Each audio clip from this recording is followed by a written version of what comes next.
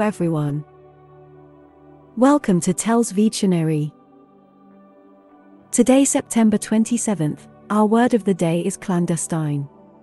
C L A N D E S T I N E. Clandestine.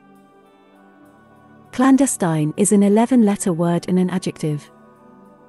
Remember, adjectives are words that describe the qualities or states of being of nouns enormous, dog-like, silly, yellow, fun, fast. They can also describe the quantity of nouns many, few, millions, 11. Clandestine means planned or done in secret, especially describing something that is not officially allowed.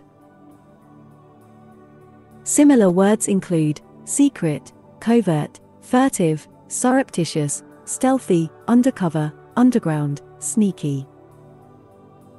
Examples of sentences using clandestine are The clandestine affairs of the congressman are being investigated by the Ethics Committee. The group held weekly clandestine meetings in a church.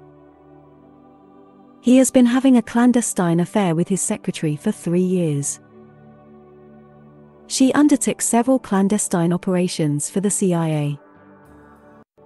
I took a clandestine peek at the price tag on the diamond necklace. We used to hear a lot of rumors about such clandestine transactions. Make sure to save this new word, clandestine, so you can practice using it in your everyday sentences.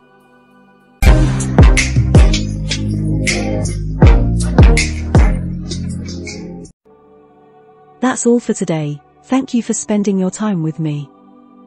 I hope you learnt something new. Don't forget to like and share this video, subscribe to this channel and hit the notification bell so you receive similar videos every day. Have a fulfilling day. See you tomorrow. Cheers.